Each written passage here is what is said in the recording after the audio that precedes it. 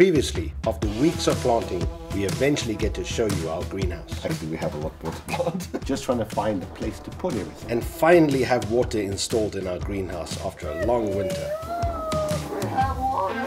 Then we get to move our focus on solving some of the major problems that we know are going to come.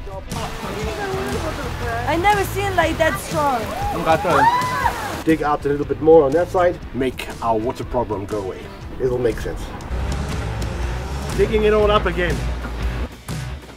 Because we're going to build another foundation there for a future project we will surprise you guys with later. How many times are we going to dig this place up? It's going to look nice. Getting back to work this morning, Zulaa has just head off to the wood market. She's going to pick up some lumber. The first thing I want to get done this morning is lay down some concrete on the right side of the greenhouse. On this side, I'm quickly going to make a form sloping in the direction that I want. Once that settles, I can put in some bricks so I can have like this little loop and once that dries we'll be able to put piping in for the drainage. That's the first job to do today. We can't lay the piping until maybe next week because the ground is still frozen. Then Zulaa has another project that we need to get done this week. We crack on with this and at least get this job done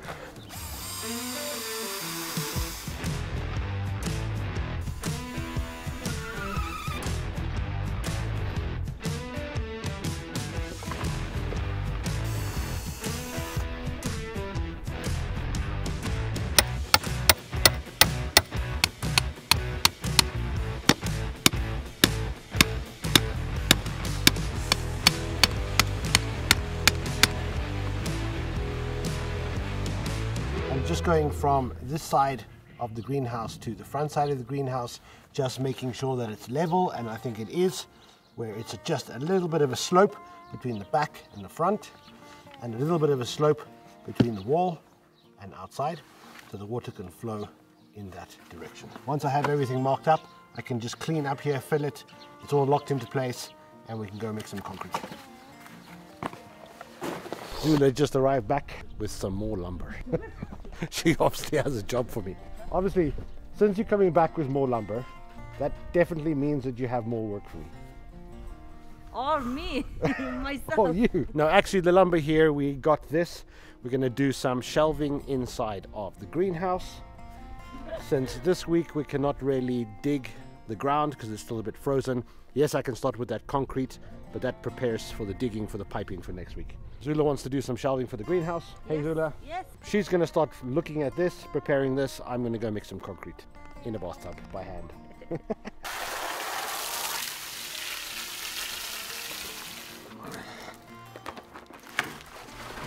This is how we do it in Mongolia, just do it in the bathtub. I'm just gonna do half a bag of concrete at a time. I think it's gonna be easier since I'm mixing it by myself. If you know how to mix concrete, always start with the water, then add in the concrete and then mix it so you get a soup. Then you can start adding in the aggregate so you get the consistency that you like. And then once it's mixed, we can move it over and put it in forms. While I am finishing off the concrete work, Zulaa is gonna go and start burning off this wood because what we did in the greenhouse for all our raised beds we did shou sugi ban a japanese way of treating the wood and you would have seen us do our woodshed the same way it's really simple to do you just take a fresh cut piece of lumber. You just burn it down then you brush off the ash and then once you've brushed it off you just oil it down with the linseed oil. Zulaa is going to do start on burning all the wood so that we can start cleaning it tomorrow oiling it cutting it down and building the shelves.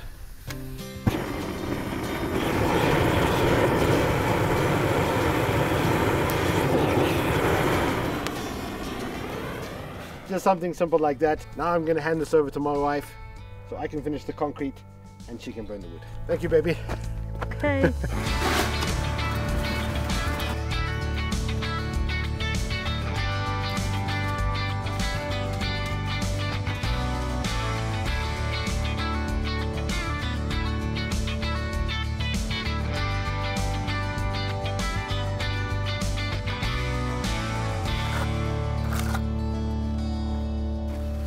It looks great. Doesn't have to be perfect because uh, we're gonna cover it up anyway. You're not gonna see it. It just has to be functional.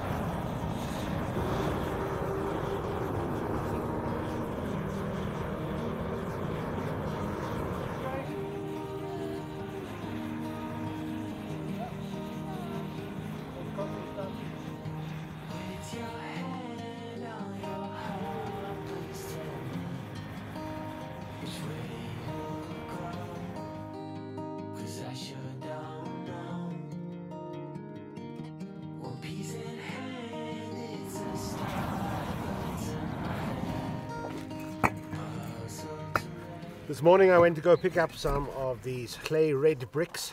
Zulaa is still burning wood, so that is going to take pretty much the whole day, so we can't start on the shelving. So I thought that while I have the day, I'm going to start concreting these bricks in so they can set so that we can work with this next week with the piping. The idea now is I have the concrete that is set. I'm going to install the bricks this way so that it has a little bit of a gap here where I can put in gravel and the water can drain out. I'm going to go mix up some mortar and get these installed. Because I don't have to mix up that much mortar to do, it's only 30 bricks that I need to do, so I'm just going to do it in the bucket. The only difference between doing concrete and the mortar is I'm using just sand as the aggregate. That, you know, that way I can get a nice clean surface. So I'm just going to mix it in here. Baby, the wood smells lovely. It smells lovely. The wood smells so great.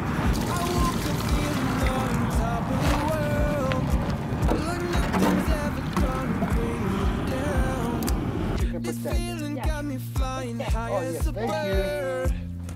I may never touch the ground. It may not be my birthday, but I just wanna celebrate.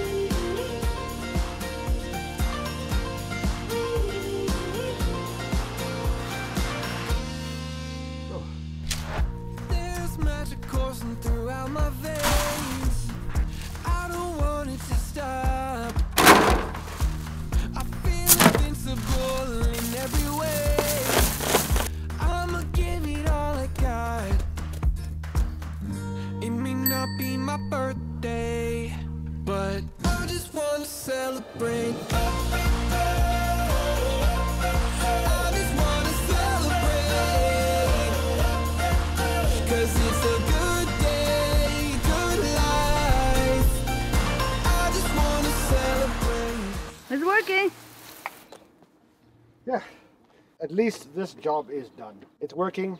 The water's filtering through the stones. Filled up here with some topsoil and then plant some grass seeds so we can have grass all the way up to the red bricks. Nice. What do you think, baby? Beautiful. A bit of landscaping.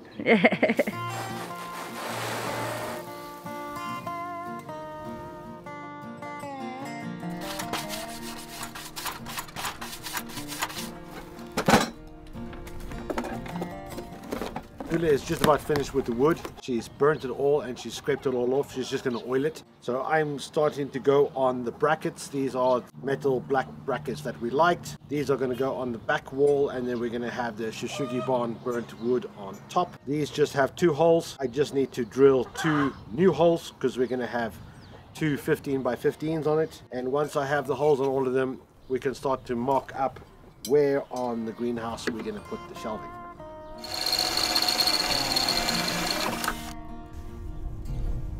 One done, 12 to go.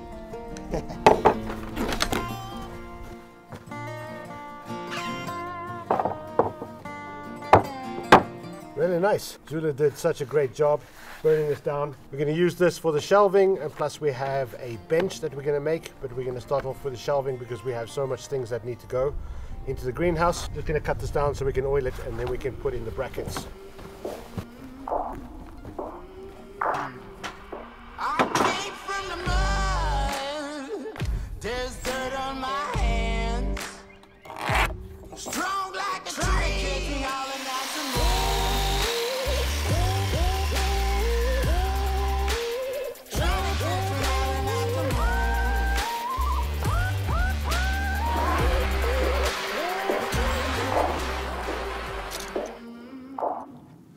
As I said before that we are using a boiled linseed oil. Finished look is great. I like this color. It's beautiful. Brings back memories of doing all the wood in there and uh. Yeah, first time we done that. I never do it again. So I love it. So I'm doing again. It looks fantastic. And it's the best way to take care of wood here in Mongolia. It's a hell of a lot of work. Yeah, but after finished look, it's Yes. beautiful. Zulaa's going to crack on with this, and then once this is all done, we can put up the shelving. Barbecue tonight! Bar- Barbecue. Goggles!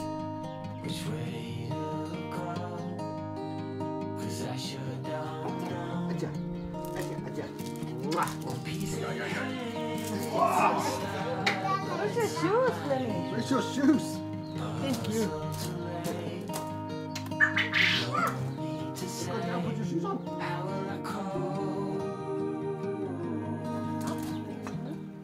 Christmas tree. That's up to you.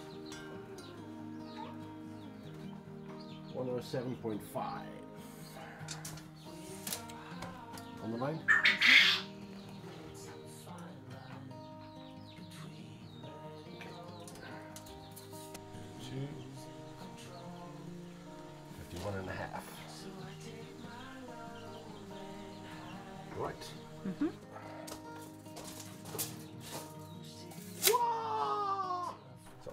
With that? Tima! Good. now we have everything measured up. It's just to make the holes. Yay! Okay. Good. Yes. Good, good, good. I'm excited!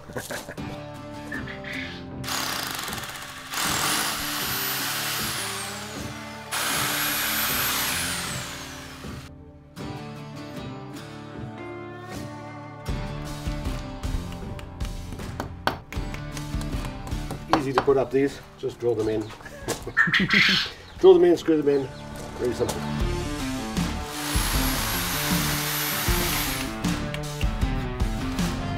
Excuse me, that's the wrong side.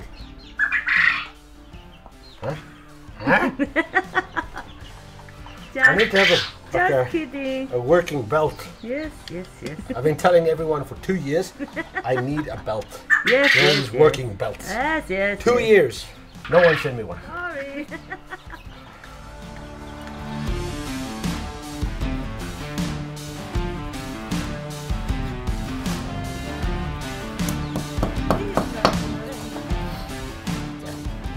In the hole.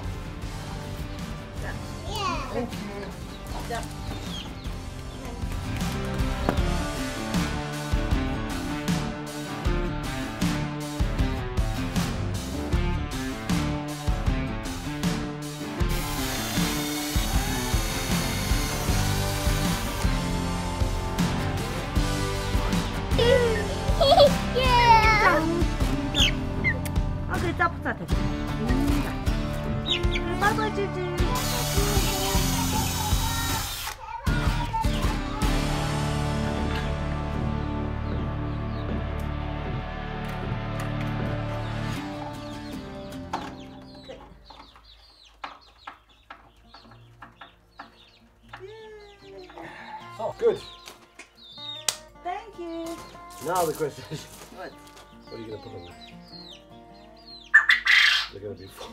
Yeah, it's going to fall.